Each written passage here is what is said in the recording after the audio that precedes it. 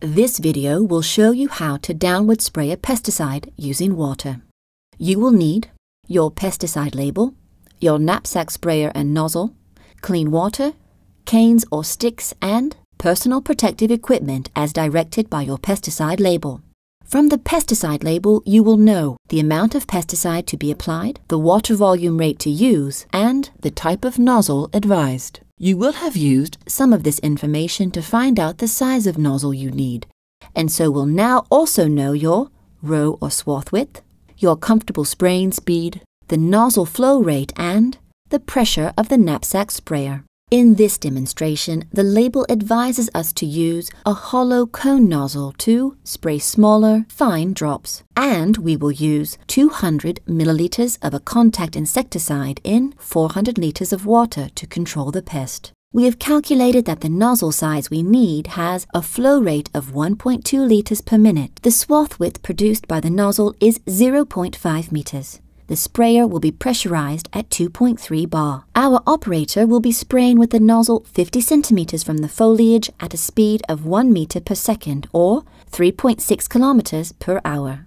When practicing spraying, only use clean water. And wear your PPE so that you get used to wearing it and can adjust it so that you are comfortable. When spraying downwards, pull your coverall or long sleeve out and over the glove so that the glove is worn inside the sleeve. Some pesticide labels will permit the use of long sleeved shirt and trousers as dedicated PPE. A better option is to wear a coverall. Always wash PPE separately. This knapsack has already been cleaned, checked, and calibrated. If you are not familiar with how to do this, please have a look at our separate videos. As you approach the start point of the row to be sprayed, walk at your preferred spraying speed, the speed which you used to calibrate your sprayer. As you reach your start point, start spraying with your nozzle 50 centimeters from the foliage. Walk slightly to one side of the spraying nozzle to avoid contact with the sprayed vegetation. If you are spraying a band or row, spray only the target surfaces. For instance, adjust your swath width so that you only spray the crop row or the row of vegetables. If possible, spray with the wind at your back, blowing from you towards the nozzle. Monitor your spraying pressure and keep your spraying speed constant. Constantly check that your nozzle is producing the right spray pattern and drop size. Check that the spray is reaching the target surfaces. Avoid spraying too much pesticide so that the drops run off the leaves. This is too much. Check that spray is reaching the leaves of the potato canopy that are lower down, as well as those at the top of the canopy.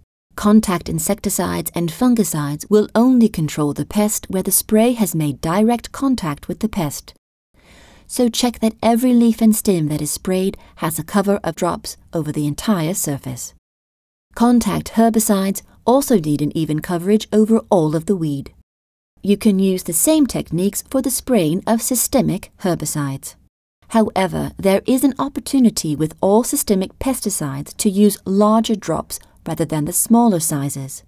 The spraying of larger drops of systemic sprays will be safer for you as you are less likely to inhale the droplets, and safer for the environment as large droplets are less likely to drift. When air is coming out of the nozzle and the spray liquid is all used, place a stick at this point. This will mark the point where spraying will continue with the next load. Leave a small unsprayed area which can be sprayed later with the water used to clean the inside of the sprayer. For more information about using pesticides and which PPE to use, visit our website